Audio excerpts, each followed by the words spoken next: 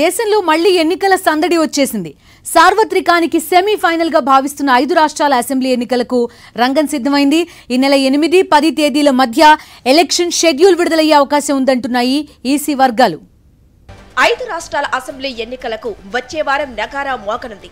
October ఎనిమిదవ తేదీన schedule విడుదల చేసేందుకు కేంద్ర ఎన్నికల సంఘం సన్నాహాలు చేస్తోంది.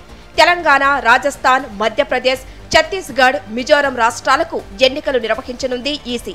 పోలింగ్ ప్రక్రియ నవంబర్ రెండో వారంలో ప్రారంభమై డిసెంబర్ తొలి వారంలో ముగిసేలా తేదీలు ఖరారైనట్టు సమాచారం. తెలంగాణ రాజస్థాన్ మధ్యప్రదేశ్ మిజోరంలో ఒకే విడతలో ఎన్నికలు జరగనున్నాయి.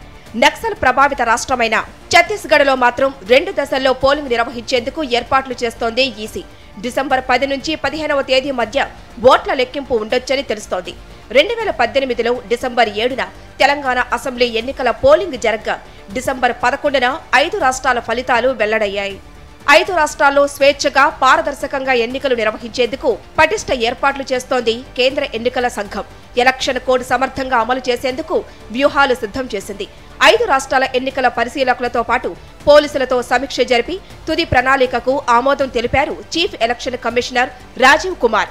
ఇప్పటికే ఐదు రాష్ట్రాల్లో పర్యటించి క్షేత్రస్థాయిలో పరిస్థితులను ఆయన స్వయంగా సమీక్షించారు. రెండు వేల ఇరవై నాలుగు లోక్సభ సమరానికి ముందు జరుగుతున్న ఐదు రాష్ట్రాల అసెంబ్లీ ఎన్నికలను ప్రతిష్టాత్మకంగా తీసుకున్నాయి ఎన్డీఏ ఇండియా కూటములు. బీజేపీ కాంగ్రెస్ బీఆర్ఎస్ సహా ప్రధాన రాజకీయ పక్షాలని ఇప్పటికే ప్రచారం హోరెత్తిస్తున్నాయి. ఇక షెడ్యూల్ విడుదలైతే ఎలక్షన్ ఫీవర్ మరింత పీకకు చేరడం ఖాయంగా కనిపిస్తోంది.